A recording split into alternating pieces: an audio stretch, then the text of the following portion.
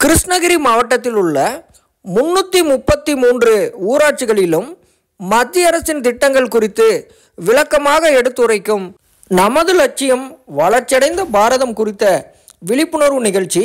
இன்றைய தினம் கிருஷ்ணகிரி காவேரிப்பட்டினம் ஓசூர் ஆகிய பகுதிகளில் நடத்தப்பட்டு வருகிறது.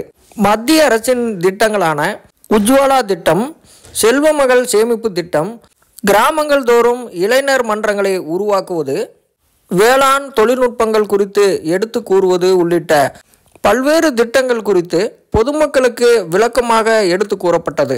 இதில் மாவட்ட வேளாண் அறிவியல் மையம் நேரு யுவகேந்திரா தபால் துறை இந்தியன் வங்கி மற்றும் இந்தியன் ஆயில் கார்ப்பரேஷன் ஆகிய துறைகளின் சார்பில் மத்திய அரசின் திட்டங்கள் குறித்து பொதுமக்களுக்கு விளக்கமாக எடுத்து கூறப்பட்டது என்று பயனாளிகள் தெரிவித்தனர். மத்திய அரசாங்கத்தோட திட்டங்களில் வந்து இந்தியன் கேஸ் கேஸ் கம்பெனி வந்து நல்ல ஒரு கேம்ப் மாதிரி வச்சது வந்து மக்களுக்கு நல்ல விழிப்புணர்வாக இருக்குது அதில் வந்து நாங்கள் ஃப்ரீயாக வந்து பதிவு பண்ணிக்கிட்டோம். இது வந்து ஸ்கீம் வந்து நல்லா வரவேற்க வேண்டிய விஷயமா இருக்குது போல் நேரு யுகவேந்திரா இருந்தும் தகவல் கொடுத்தாங்க.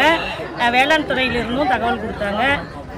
அதே போல் வந்து ஒரே கொஞ்ச நேரம்னாலும் பல விஷயங்களை வந்து மக்கள் மத்தியில் வந்து அஹ் விளம்பரப்படுத்திக்காகவும் தெளிவுபடுத்திக்காகவும் மத்திய அரசு திட்டத்தில் கேஸ் பதிவு செய்தோம்.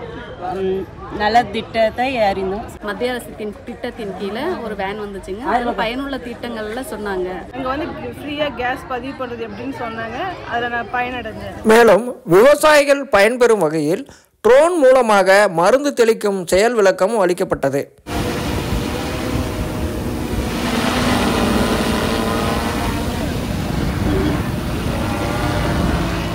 மத்திய அரசு செயல்படுத்துகின்ற திட்டங்கள் குறித்து பொதுமக்கள் வசிக்கும் இடங்களுக்கு நேரடியாக சென்று விக்சித் பாரத் சங்கல்ப யாத்ரா மூலமாக விழிப்புணர்வு பணிகள் மேற்கொள்ளப்பட்டு வருகிறது. இதன் மூலமாக இந்த பகுதியில் உள்ள பொதுமக்கள் இன்றைய தினம் பயன்பெற்றுள்ளனர். தூர்தர்ஷன் செய்திகளுக்காக கிருஷ்ணகிரியிலிருந்து சி. ராஜா.